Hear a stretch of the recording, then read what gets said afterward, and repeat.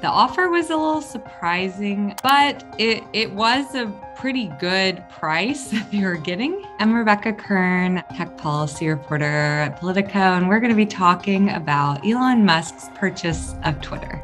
He has espoused and shared a good deal of misinformation, particularly around the COVID vaccine and treatments. He carries a lot of power when he tweets things like that to 80 plus million followers.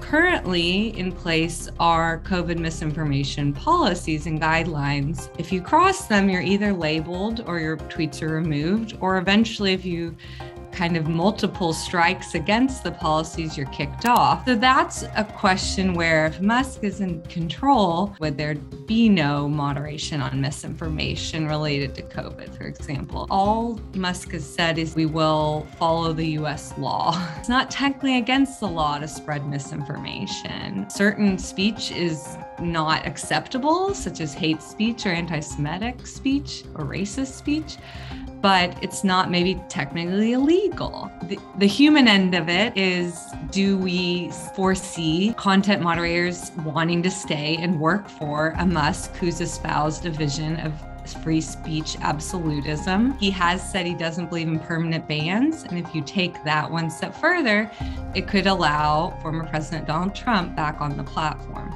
Will that inciting violence policy stay in place? We've seen a pretty bifurcated reaction between Republicans and Democrats. You see them go back to their camps. It's Republicans talking free speech, and it's Democrats saying billionaires have way too much power and we need to rein them in.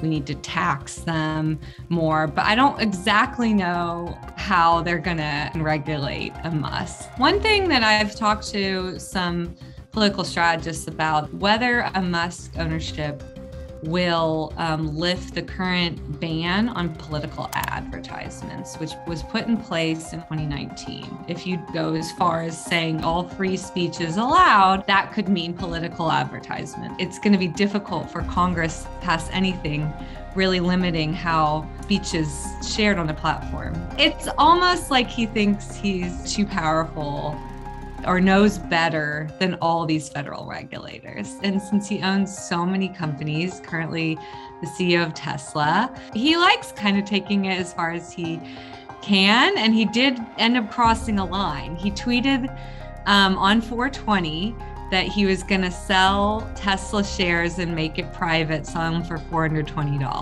That got him in trouble with the SEC. He was fined. The thing with Twitter is it's not really regulated by any federal agency.